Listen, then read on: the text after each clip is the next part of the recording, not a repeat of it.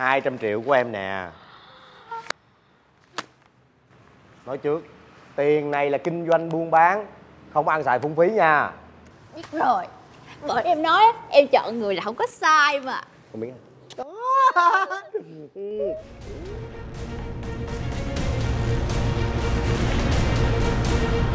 anh tâm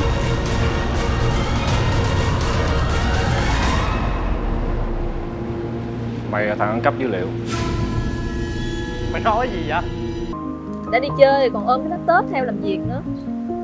Ờ anh coi mail của công ty chút xíu rồi anh tắt liền à. Nè. Ừ. ừ. Cảm ơn em. Thấy cái xe này sao? Nếu mà thấy đẹp á coi nhắm mua cho ông xã tương lai đi. Coi như là quà cưới đó con ồ đẹp quá ha. Anh.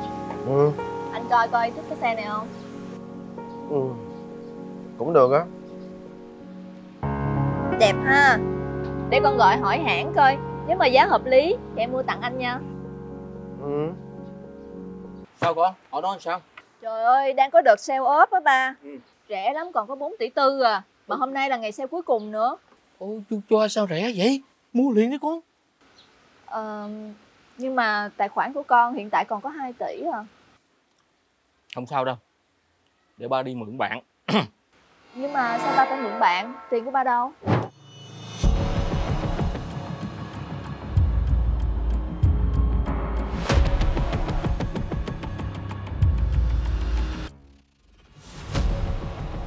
Tới lâu chưa?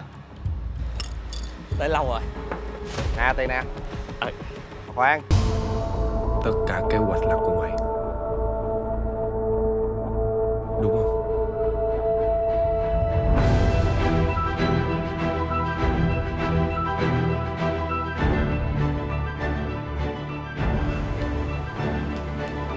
Tại sao làm vậy ta?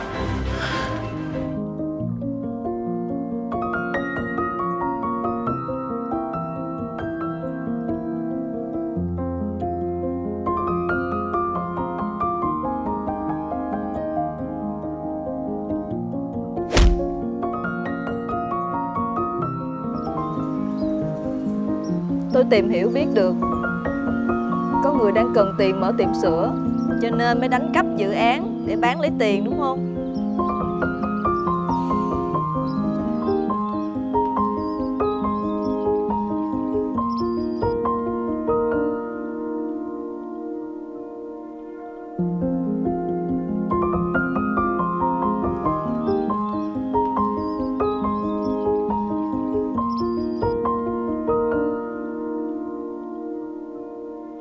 Thank